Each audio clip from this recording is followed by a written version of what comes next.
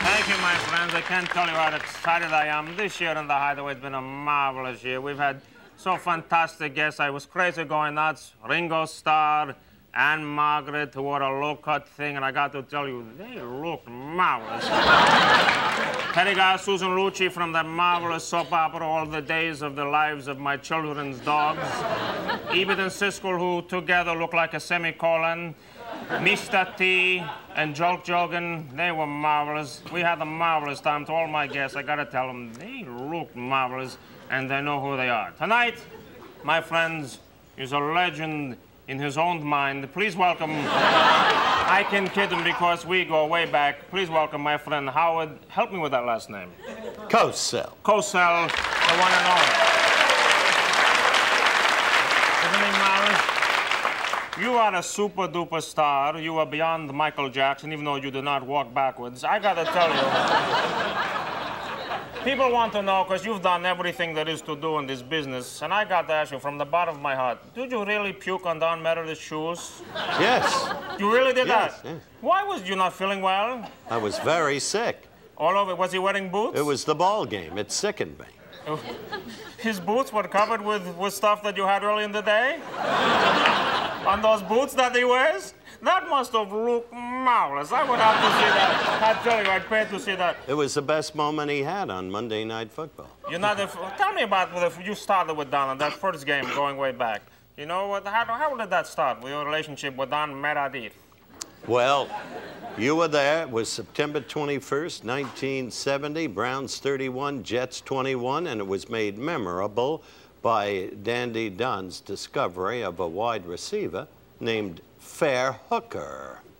No such thing. I'll tell you that. That's what Meredith said. well, I heard that about him, you know. But you know, look, you pay for your thrills. You know what I'm saying to you? I tell you, at least he wasn't, you know, somebody important because that seems to have been going around a lot in sports. You know, police pulling people over in cars and they go, "Oh, you look, you got a medal." You know what I'm saying to you? It's too crazy for it. Why are you touching me there?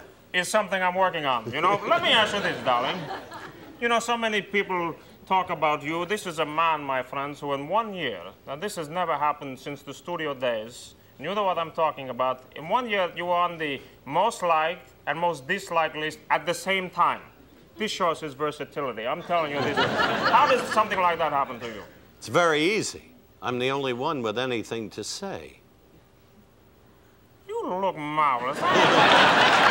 really do. No, I, up close is fabulous, you know, but you covered the Olympics, you covered all of those things. My favorite thing, Howard, may I call you Howard? Of course. My favorite thing, I love, of course, I love that. He's marvelous. He's a Katsunyama kid. Hmm. The Battle of the Network Stars, to me, is the epitome of sports at this, but I think it is the most marvelous. Of all, you got all these beautiful women and these guys, and together they look marvelous. They're up at Malibu. It's fabulous. I think it's great.